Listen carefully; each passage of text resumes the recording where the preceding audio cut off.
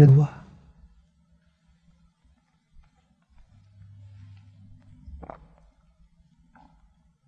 我曾经两次访问伦敦，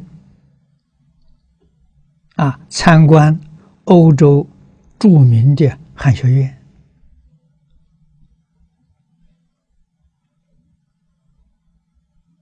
啊，他们辐射在牛津大学、剑桥大学跟伦敦大学，我都去看了，啊。这个汉学系的学生专门研究中国古籍，我们佩服啊！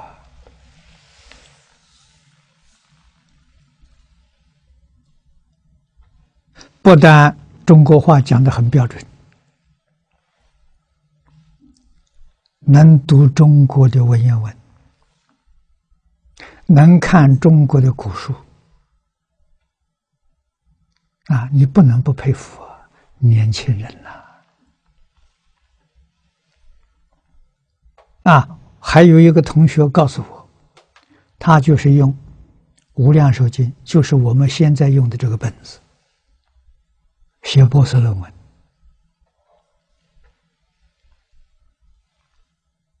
啊，这个不是外行人呐！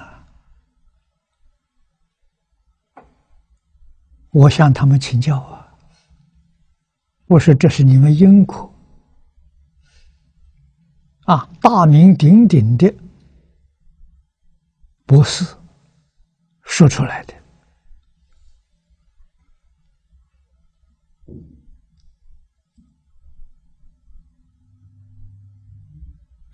解决二十一世纪社会问题，只有孔孟学说跟大乘佛法，你们能相信吗？”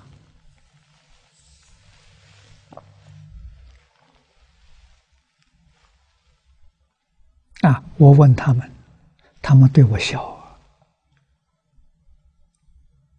不回答我。我停了几分钟，反过来问他：难道汤恩比博士说错了？啊！也没人回答我，都对着我笑。啊！最后我明白了，我说你们很聪明。既不承认，也不反对。